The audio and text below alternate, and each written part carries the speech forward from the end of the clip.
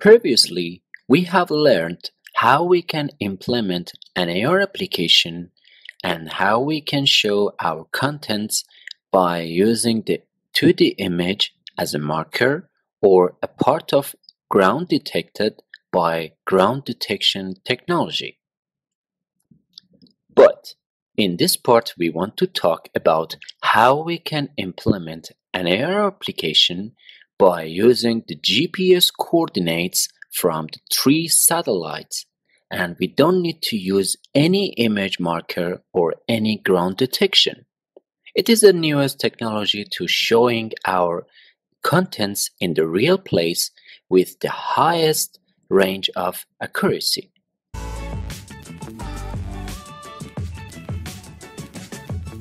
When you walk down the street and use the app, in a space, three GPS satellites monitor your position simultaneously. Your location is sent to the app instantly. Then, the app compares your location with the predefined location. If you are in a defined position, a notification will be displayed telling you that you are in a particular position. Your phone's camera will turn on and start scanning your surroundings. Then you can see the 3D model defined for those coordinates in a place with the augmented reality technology. When you use the application, your coordinates are instantly compared to the target coordinates. And if you are in the desired location, the predefined function is executed. But there is a problem here. The phone's GPS isn't powerful enough to calculate coordinates accurately, and it usually fluctuates. The phone's GPS sends a positioning request to the satellite every 1.5 seconds. But because only three satellites are connected to the phone, so the exact position of the phone is not calculated and the error rate is about 9 meters. So because of this amount of error calculating the current phone location, we cannot use the exact comparison the current phone coordinates with the target coordinates to run our function. The appropriate solution is to use a comparison of the distance between the phone and the target. This means that our function will be executed when the phone reaches a distance of 5 meters from the target coordinates. With this system, the current location of the phone doesn't matter instantly. So, if there is any fluctuation, the system will not be damaged.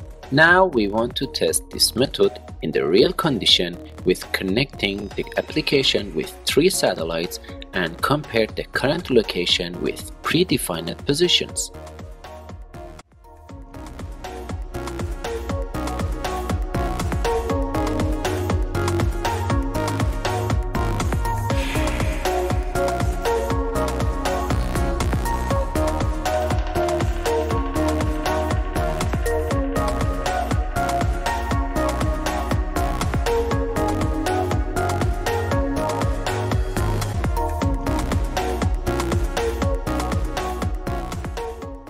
In this example, we want to add a point into the city.